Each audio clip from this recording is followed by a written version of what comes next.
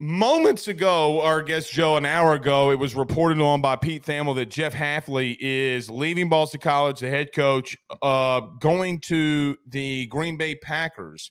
In a statement released by Pete Thamel, when speaking with Hafley, he says, and I'm quoting here, the reasons for taking this coordinator job are rooted in both overall the state of college football and the opportunity to work for one of the best NFL, uh, most respected franchises.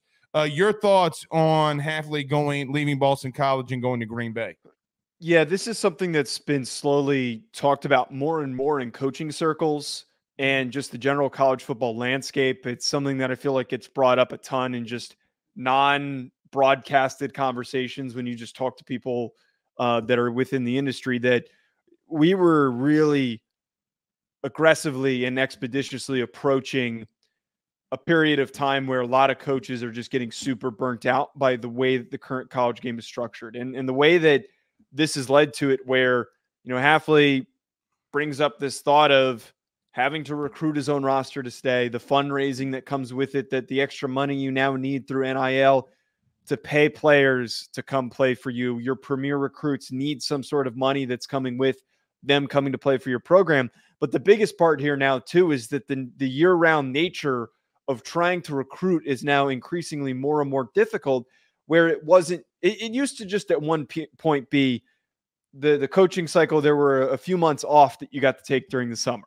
You know guy, guys would come on campus they'd be with the strength staff and the coaches could take those vacations if they needed to. That's not happening anymore. That that stuff's not happening at all anymore where the whole new early signing period has made it impossible for recruiting to be done in a normal fashion. You we saw guys like uh um uh who's the the Texas quarterback that that just went to Duke? Oh, uh, Maalik Murphy. Maalik Murphy. Perfect example. Backup quarterback on a college football playoff team has to enter the portal because he wants to go find an opportunity while his team is preparing for the college football playoff. It is just a, a, a massive mess as we just spent 14 minutes talking about in the last segment, and we've spent months talking about it on the show. It does not surprise me that a guy like Hafley, who's in his 40s, wants to put himself in a position to coach for a long time and not have to run himself into the ground. And the crazy part is that 10 years ago, you ask any coach, they'd rather coach in the college game. The NFL is a, is a very high pressure situation. There's a lot of jobs in college football, like Boston College, where you could go there, you get your team to a bowl game, you're doing enough work and you're not going to get fired. The NFL is not like that.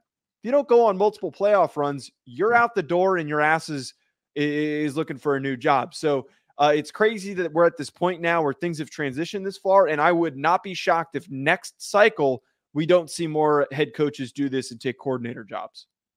I agree because I'm hearing it from people, Joe, that coaches that don't want to be in college football anymore.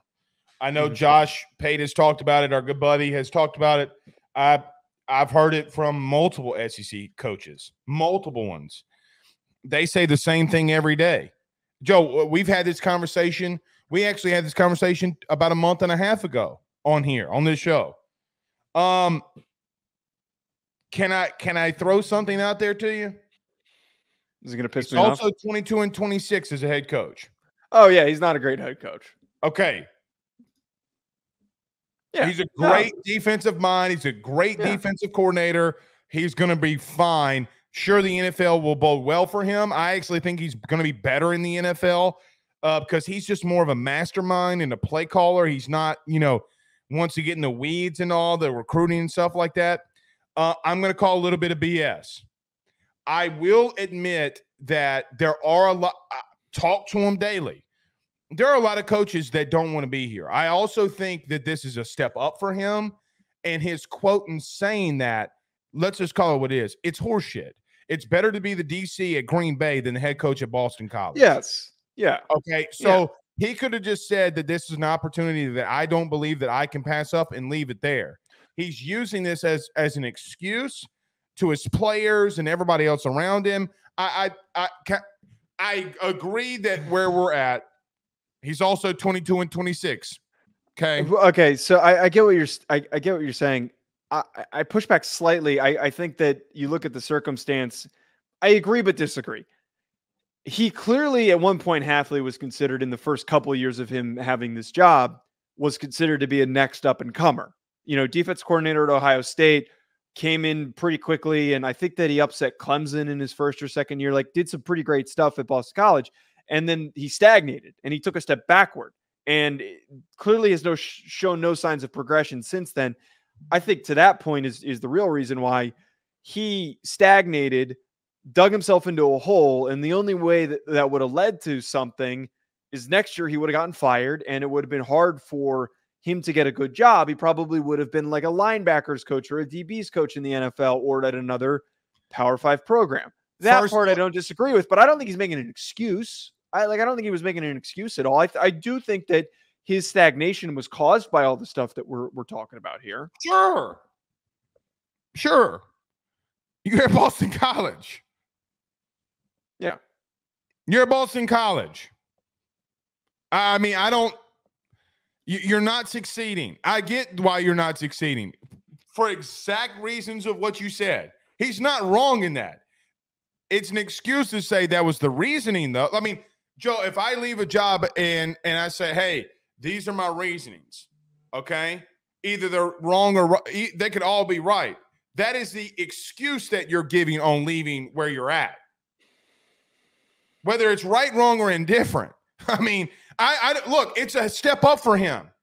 Yeah. Boston College yeah. is not a place. He, he lucked out. He completely lucked out that he was able to get a better job in in being able. Our former colleague, if I'm not mistaken, knows him well. Jay Crane knows him, calls him the wizard. Like great defensive mind, great play caller.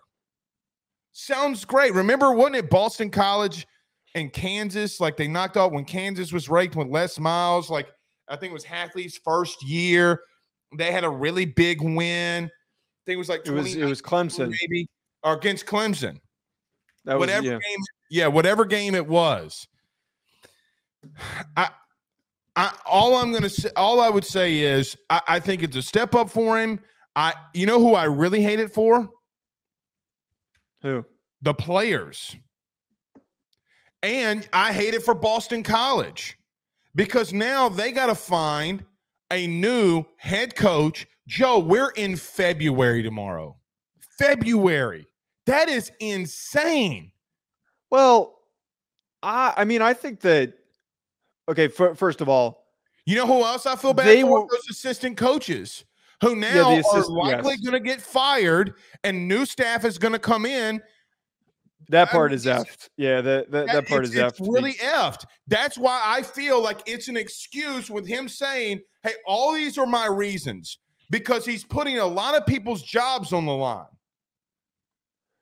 Here's the one thing though that I, I will uh, say to that though: Boston College wasn't really a job. Yeah, unless they promote from within. Boston College wasn't really isn't really a job that would have commanded any of the top candidates. I, I actually don't even think any of the mid level candidates for any of these mid level openings would have really been in play for them because of the you know the region that they're in. Like it just probably would not have made a ton of sense. I, I think that they're going to have no trouble grabbing who they're going to get. The only actually the only one that I will say that they could have grabbed. Um, who's the guy that the, that JMU just hired? from Holy Cross. Uh, that is the only one that I uh, um, would have said would have made sense. I'm blanking on the guy's name, but JMU just hired Holy Cross as head coach, and Holy Cross was a really good football program for the past five years, which is in Massachusetts. That's the only one that they probably missed out on. Realistically, if they really wanted to, they probably could pluck him. I don't think that they're going to do that. They'll be fine looking for their next head coach. This isn't a program oh, that's really I'm not winning worried About, I'm not worried about Boston College and finding a head coach. They'll find somebody to be their next head coach. They're not going to be head coachless. Okay, yeah. like I mean, I'm not worried about that. Well, it just matters if it's a good option. Like well, them promoting their defensive coordinators, not a good option. Well, not only if it's not a good option, Joe. Again, what are you going to tell the OC and DC?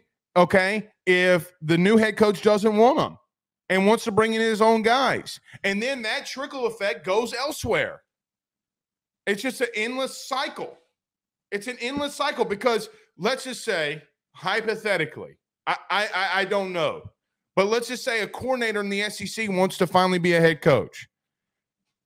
we're not who's to say that somebody would not go and want to be a head coach somewhere like i mean you don't know where this search is going to go that's all i'm saying is it's a really it's an, all i was trying to say is it's an excuse from him okay BetOnline remains your top spot for all of your live betting action and contests nfl college football ufc nhl are all in full swing BetOnline is your number one source for wagering news, odds, trends, and predictions with both desktop and mobile access at any time. Head to BetOnline today and use promo code BLEAV. That's B L E A V for 50% off your first deposit. That is a 50% welcome bonus. BetOnline, where the game starts.